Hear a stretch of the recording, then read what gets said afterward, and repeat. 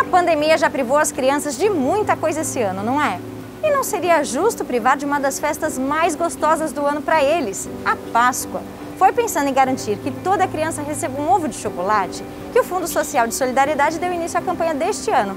É só você comprar um ovo de 150 gramas e encaminhar até lá. Todas as doações serão encaminhadas para crianças de até 100 entidades assistidas. E a variedade é grande e deliciosa. Vamos conferir?